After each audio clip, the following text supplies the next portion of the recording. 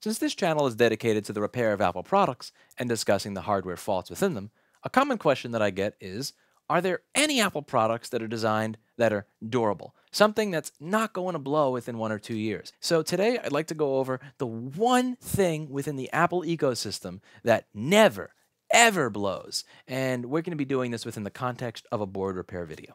Now, if you just want to skip ahead and figure out what it is, I'll leave something in the description, a little hint. But I think that you should watch the video rather than just skip ahead to the hint because it's going to be an interesting one.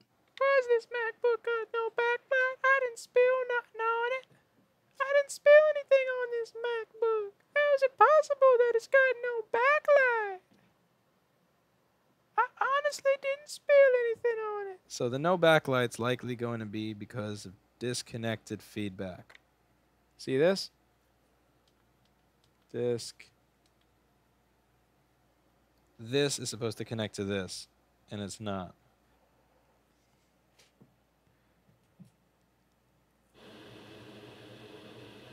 But I have to connect this to that. And you can see where it, it broke off. Actually, I can make the connection right here. I don't even have to run some long convoluted wire.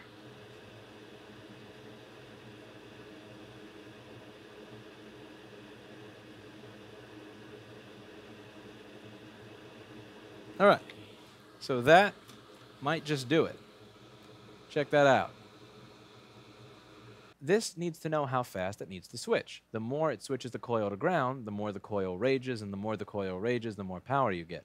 So it has to see what it's creating. So this chip that does the switching has a line called feedback. And the feedback is going to be between backlight output, which is at the diode, backlight, to the LP8550. And that's this little probe point where it says XW7720. So it shows backlight output, PPHV SOSW LCD BICLET is attaching to this little thingy, and that thingy is going to go to the other side of the board and go onto my LED driver on ball 5.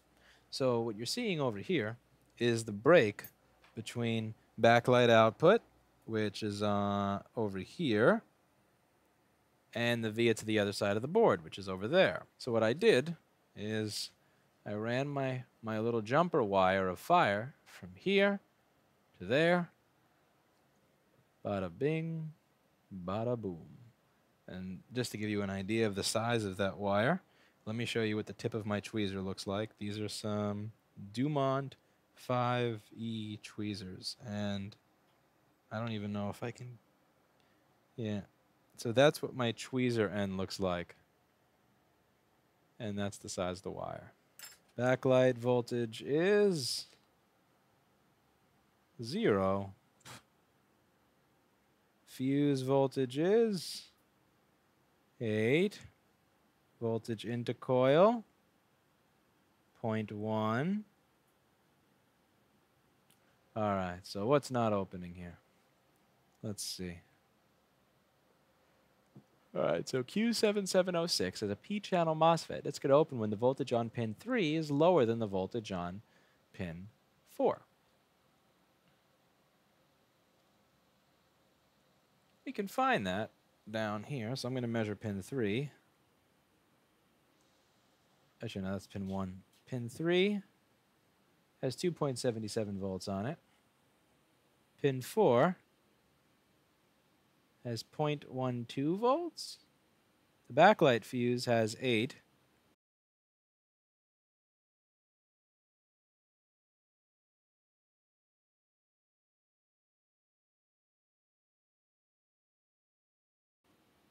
Okay, so it seems like we have a break in the path between the backlight fuse over here and the MOSFET over here. So that's the next thing that we're going to have to observe. Let's see what that looks like on the board. Q7706 looks sad on the board. Hey, long time no see, Game Boy Genius. Did the fuse actually do something? No, of course the fuse didn't blow, Chris Long. The fuse never blows. It's an Apple product. What blows is the actual pathway between the fuse and important components. Because if the fuse was doing its job, this would not be an Apple product. And it isn't. So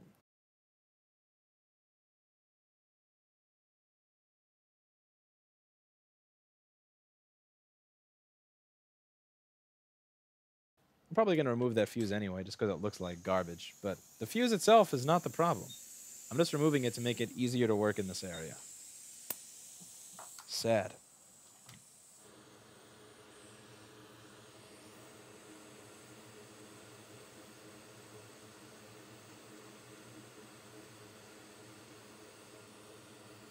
Watch, I'll, I'll prove it to you. That fuse is fine. I'm just removing it because it's cosmetically aggravating. So resistance measurement. That fuse is that fuse is not resistant.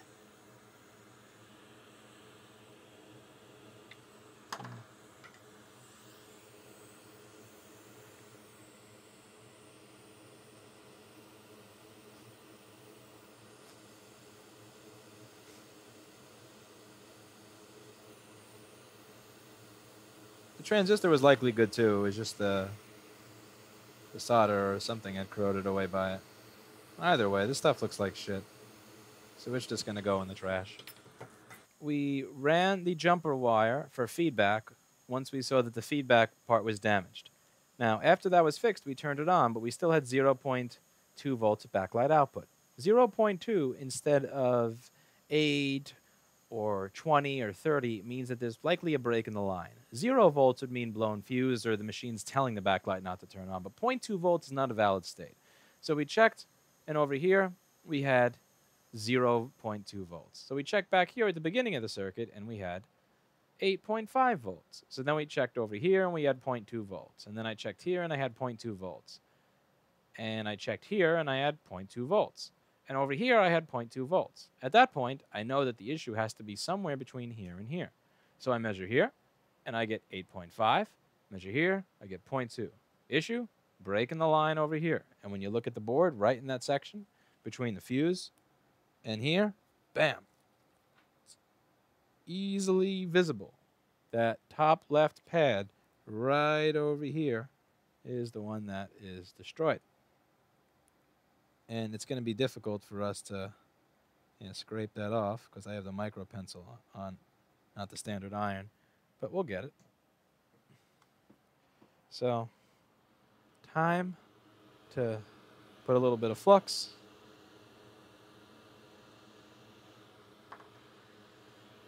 A little bit of solder. Get down tonight.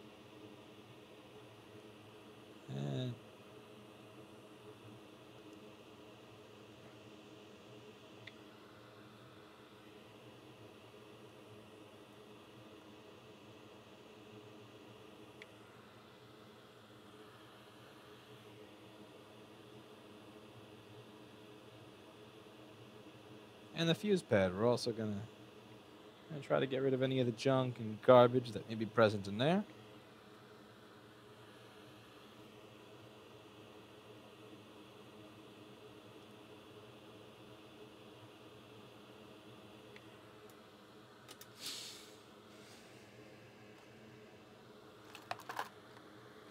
Okay, we're going to replace our fuse, and then we're going to replace that transistor, and this is going to be an amazing, beautiful, lovely board. Okay, we're going to prepare the board for my transistor next. A tiny bit of flux. Chris Long says Apple makes some damn good fuses, that's all I'm saying. Yeah, that's a quality fuse. It's one of the few things Apple makes that doesn't blow. One of the few things Apple makes that doesn't blow are the fuses. Apple engineering. Again, wh why have the fuse blow when you can just have the pathway between the fuse and the circuit fail? The funny thing is, in the Retina model, they had current sensing put in that year.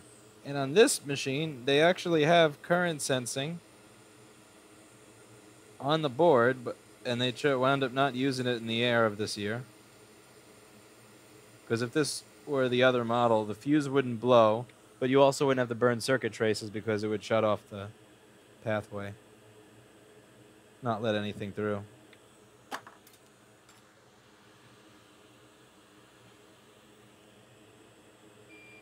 Yeah, I guess I guess like $1100 for this machine wasn't enough to implement that feature. Uh, you got to save that for like the $13.99 ones, you know what I'm saying? Chris Long is right. Apple does make some damn good fuses. That's all he's saying. He's just complimenting them on the quality of their fuses.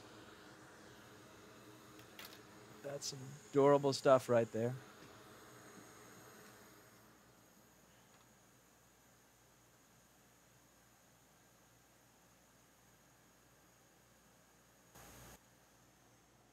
Apple knows how to make a very durable fuse. Okay, I bet we're gonna have a light now.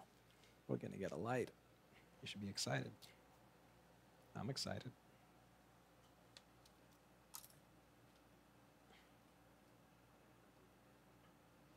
Come on, Louis needs a new bicycle to replace a stolen bicycle. Louis doesn't want to take the train anymore. The train sucks. Aha! There's a light. Look at that. It's an apple. It's an apple.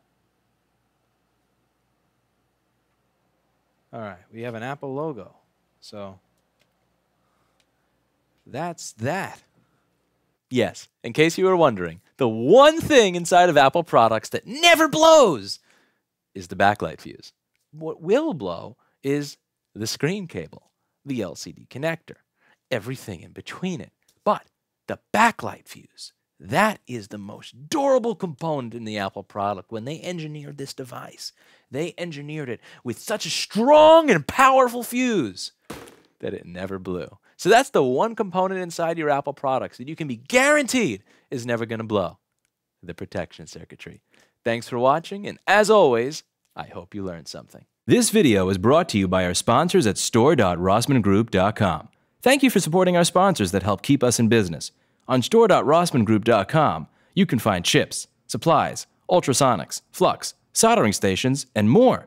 With 4.9 stars on Shopper approved, same day shipping from New York City, and free continental shipping over $30, you can't lose. We even offer free support unless you're a Please Bro, live chat, and are adding new products every day. We even got rid of our old terrible merchant services provider that used to decline random transactions for no reason. If you buy today, we'll throw in a special offer that your order will actually go through properly. What are you waiting for? Go to store.rossmanngroup.com to get yourself some authentic Amtech Flux. Don't delay. Buy today.